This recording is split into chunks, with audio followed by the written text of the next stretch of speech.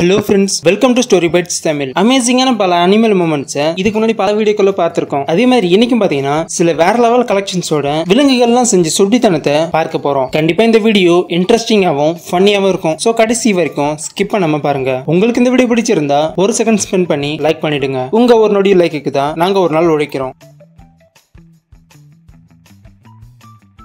நான் ரோட்ல ரெண்டு பேர் சண்டை போட்டுட்டு இருக்கும்போது அட சண்டை போடாதீங்கப்பான்னு தடுத்து நிப்பாட்டி விலகி வச்சிடலாம் ஆனா இப்படி ஒரு ரெண்டு பேர் சண்டை போட்டுட்டு இருந்தா கண்டிப்பா யாரும் கிட்ட கூட நெருங்க மாட்டாங்க. எவன் கிட்ட நெருங்கி கடி வாங்குறது? அதுவும் ரெண்டு பேரோட பல்ல பாக்குறதுக்கும் பயங்கரமா இருக்கு. குரங்குங்கெல்லாம் சம புத்திசாலிங்க. எப்போ அவங்களோட இன்டெலிஜென்ஸ் வெளியே வரும்னே தெரியாது. இருந்தாலும் சில சமயத்துல பாக்குற நம்மள ஆச்சரியத்துல அனுப்பிடுவாங்க. அப்படி இந்த ஒரு ஃபுட்டேஜை பாருங்க. எங்க இருந்தோ ஒருத்தர் குரங்கு செய்யற சேட்டையெல்லாம் வீடியோ எடுத்துட்டு இருக்காரு. அப்போ சடனா அங்க இருந்த குரங்கு பைப் ஒன்னத்தை பிடிச்சி தாவுது. அப்புறமா அந்த பைப்போட உச்சில போயிட்டு நல்ல பைப்பை பெண்ட் பண்ணுது. இப்பதான் தெரியுது அது தண்ணிக்காக தான் இப்படி செய்யுதுன்னு அப்புறம் பைப்ல இருந்து தண்ணி வரும்போது அதை குடிக்குது. எம்புட்டு அறிவு இருந்தா இந்த அளவுக்கு யோசிச்சிருக்குன்னு பாருங்க. போக போக நம்மளையே பீட் பண்றாங்க போல இருக்கு. நிறைய கேக் செலிப்ரேஷன் வீடியோ பார்த்துருக்கோங்க. ஆனால் இந்த அளவுக்கு ஒரு சாட்டிஸ்ஃபைங்கான வீடியோவை இதுக்கு முன்னாடி பார்க்க மாட்டேன்னு நினைக்கிறேன். ஏன்னா அந்த அளவுக்கு அருமையா இருக்கு. இப்பெல்லாம் வீட்டில் வளர்க்குற விலங்குகளுக்கு கூட பர்த்டேன்னு சொல்லி கேக் வெட்டி நிறைய பேர் செலிப்ரேட் பண்றாங்க. அந்த மாதிரி இந்த ஃபோட்டோவில் வர டாகுக்கும் ஷர்ட்டை மாட்டிட்டு பர்த்டேன்னு சொல்லி கேக் ஒன்றத்தை கொண்டு வந்து வச்சு வெட்டலாம்னு நினைக்கிறாங்க. ஆனால் அதை எடுத்துட்டு வந்தவர் டாகோட மண்டைய கேக்கில் ரோப்பலாம்னு பார்த்துருக்காரு. பட் டாக் வேற லெவலுங்க செம உஷாரு. நடுவுலேயே ஸ்டாப் ஆயிருச்சு. சரின்னு தலைவர் நடந்தது விழுந்து விழுந்து சிரிக்க வச்சாம் பாருடா அப்படின்னு சொல்ற அளவுக்கு அந்த டாக் தக்மமௌண்ட்டை காமிச்சிருச்சு. கர்மான்னு இதுதான் சொல்லுவாங்க. டாக் தெளிவா யோசிச்சு அவருக்கு செய்வினை செஞ்சிருச்சு. வேற லெவல் தான். யார் என்ன சொன்னாலும் சரி டாக்ஸ் எல்லாம் அவங்கள மாதிரி ஒரு ஜீவன் வர்றது ரேர் தான். அப்படி இந்த ஃபுட்டேஜை முழுசா பாருங்க. டாக் ஒன்று இருக்கு. அந்த டாகோட ஓனர் பக்கத்துல படுத்துட்டு இருக்காரு. ஆக்சுவலா இவர் இறந்து போன மாதிரி ஆக்டிங் கொடுக்குறாரு. அப்புறம் இவருக்கு என்ன ஆச்சுன்னு தெரியாம அந்த டாகும் கிட்ட வந்து ஃபர்ஸ்ட் காதை வச்சு ஹார்ட் துடிக்குதான்னு பாக்குது. அப்புறம் இதுதான்டா சாக்குன்னு ரெண்டு காலம் எடுத்து ஒரே ஏத்தி எத்துது பாருங்க நெஞ்சில. அப்பதான் தெரியுது முதலுதவி பண்ண போதுன்ட்டு. அப்புறம் நின்று போன ஹார்ட் பீட்டை இப்படிதான் வர வைக்கணும்னு யாரோ சொல்லி கொடுத்த மாதிரி கரெக்டா பண்ணிட்டே இருக்கும்போது வாயோடு வாய் வச்சு மூச்சு கொடுக்க நினைக்குது. அப்புறம் இது வேலைக்காகாதுன்னு தெரிஞ்சு திரும்பவும் நெஞ்சில ஒரு எட்டி உதைச்சு காது வச்சு பாக்குது. வேற லெவலுங்க. இப்படியே கண்டினியூஸா பண்ணிட்டு இருக்கும்போது சடனா அந்த ஓனரும் இதுக்கு மேல நம்மளால நடிக்க முடியாதுப்பான்னு கொஞ்சமா அசைஞ்சதும் அந்த டாகோட ரியாக்ஷனை பாருங்க. வேற லெவல் தான். பிரைஸ்லெஸ் மூமெண்ட்னு சொல்லுவாங்களே அந்த மாதிரி தான் இதுவும் இருக்கு.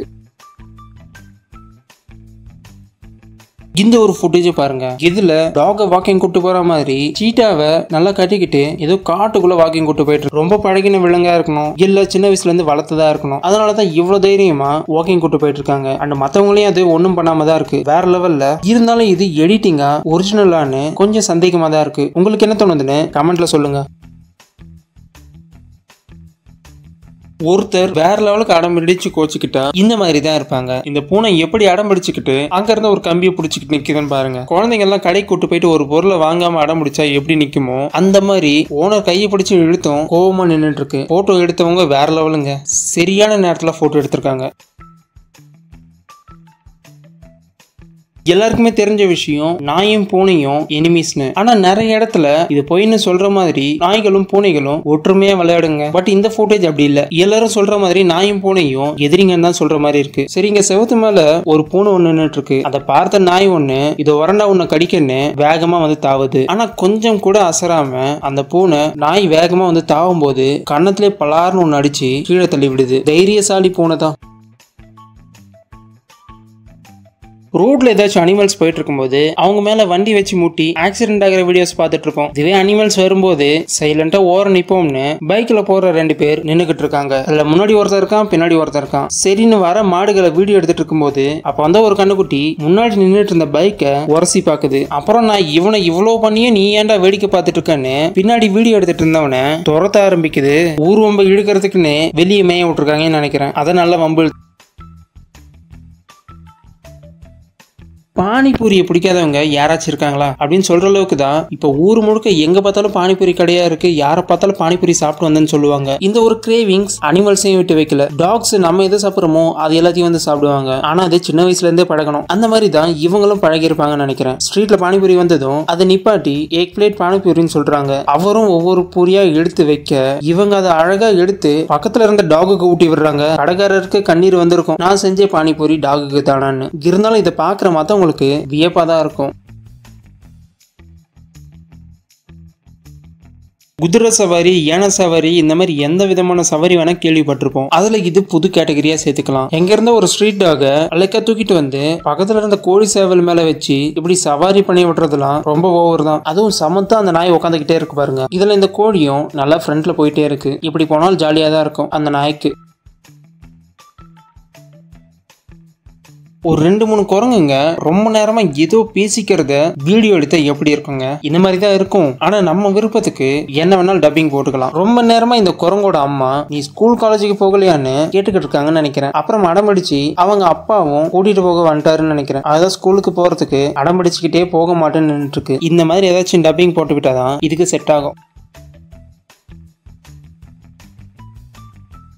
ஒருத்தருக்கு ஒரு விஷயம் ரொம்ப பிடிச்சி போயிடுச்சுன்னா அதுக்கான பாராட்டு கண்டிப்பா அவங்களுக்கு கிடைச்சே தரும். அந்த மாதிரி இங்க ஒருத்தர் பாத்தீங்கன்னா ஸ்டேஜ்ல இருந்துட்டு பஜனை பாடுற மாதிரி ராமர் பாட்டு பாடிக்கிட்டு இருக்காரு. அப்படி பாடிக்கிட்டே இருக்கும்போது சடனா ஒரு குரங்கு வந்து ஆப்போசிட்ல நிக்குது. அப்புறம் இவர் இன்னும் நல்லா ஏத்தி பாட அந்த குரங்கும் அவர் கிட்ட போயிட்டு ஷோல்டர் மேல கை வைக்குது. சரின்னு குரங்க பக்கத்துல வந்த பயத்தை வெளியே காமிச்சிக்காம ராகத்தை இன்னும் கொஞ்சம் ஏத்தி பாட சடனா அந்த குரங்கு அன்பு மழையே முத்தத்தால பொழியுது. இவரும் உடனே கையெடுத்து கும்பிட்டு நீதான்ப்பா கடவுள்னு குரங்க கும்பிட்டு கொஞ்ச நேரத்துல வழி அனுப்பி வச்சிடுறாரு.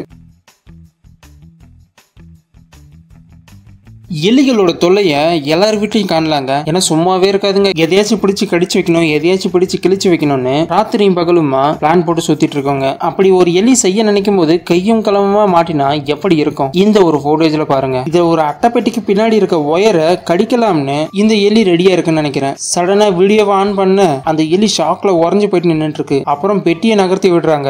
மாட்டிக்கிட்டோம்டான்னு சைலண்டா நின்றுட்டு இருக்கு செய்யறதையும் செஞ்சுட்டு எப்படி திருட்டுத்தனமா லுக் விடுதுன்னு பாருங்க. கண்டிப்பா இது சைனாவை மட்டும் இருக்காது. ஏன்னா பிடிச்சு உடனே செஞ்சு சாப்பிட நினச்சிருப்பாங்க.